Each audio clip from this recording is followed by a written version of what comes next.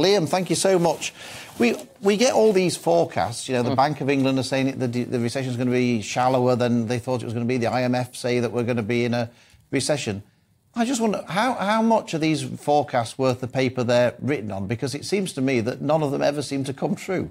Oh, you did a bit of a eye roll thing going on there, Liam. Well, you know, I've, I've got lots of letters after my name for various economics degrees. I was a professional economist and forecasting is a useful exercise. It makes, means you get together all the evidence you can, you think very hard about particular issues. But economics is never a science, it's a dismal science. Uh, that's, that's the sobriquet. And forecasts aren't destiny, that's all I would say. The Bank of England was, in my view, ridiculously gloomy until yesterday. It was saying that the UK would stay in recession for almost two years, the longest slump pretty much of modern times. It's now saying that the UK will stay in recession for about a year or just over a year. So it's still quite gloomy, as is the IMF. I think they're both not really understanding what's happening in business. If you look at what stock markets are doing, there's a sense that a corner now is being turned. There's a sense that inflation is coming down. People like me who look closely at supply chains and talk to business leaders here in the UK and across the world, there's, a, there's an urgency that we want to get out of this funk. The animal spirits, as John Maynard Keynes called them, are starting to stir. And I, I'm not saying, you know, I'm not going to, you know, channel Norman Lamont and say there are green shoots coming, but I do think the worst of this slowdown is over. I do think the worst of inflation is over.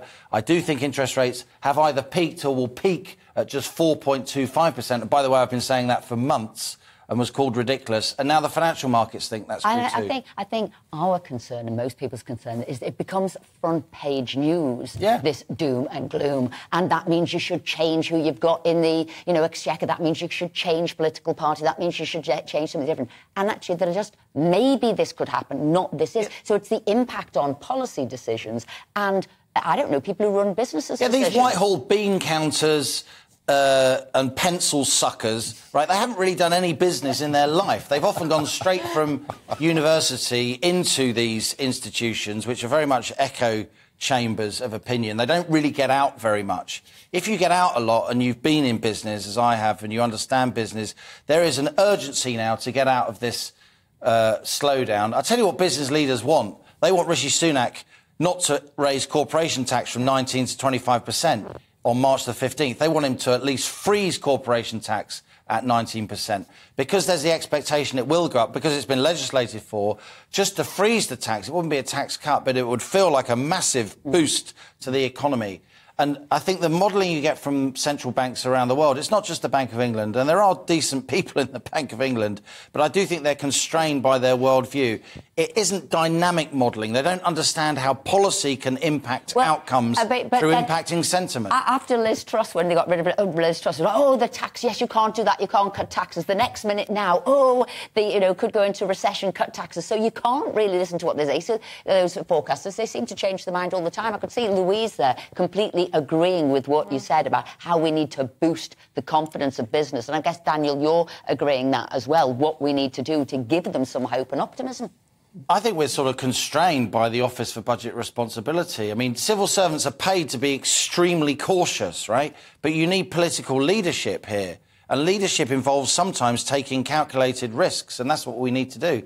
Taxation's at a 70 year high. To me, it makes no sense to increase tax rates even more. We'd be the only major economy in the world doing that as we're trying to get out of this slowdown. I mean, the, the, this, the thing of forecasting interests me because I, what staggered me, I mean, I can understand why you make a forecast for the future and it's wrong. What staggered me over recent weeks is that the ONS have made forecast about what's actually happened. And got it wrong. And got it massive. Okay, I mean, that, uh, in defence of the Office for National... Don't bother. they, they, just to give an example, they suggest that the UK's average output per hour worked growth was 5% during 2020 and 2021 and they've now revised it and said, oh, actually, it wasn't a 5% growth. It went, it was minus 0.3%. That is a big adjustment. I mean... so the Office for National Statistics, I, I, do think they did a decent job doing, during the COVID lockdown, monitoring um, the, the, pandemic. I do think, in general, they do a decent job. They've got a good international represent, rep, rep, reputation. They don't really do forecasting, and they're not a pol political organisation at all, as, as you know. But when you're measuring GDP, the sum total of all transactions in the economy, it does take a long time to collate them. So any GDP number, it will bring out a preliminary number. And then at one, three months later, there'll be a revised number, yeah. and then there'll be a final number. So they have uh, three well, kind of bites. Then the it's cherry. sort of the way the newspapers cover it, and they should have a health warning. Not that this is the definitive, you know, all-seeing crystal ball. We know what's happening. It should be this is a maybe, this is a possibility. I want to bring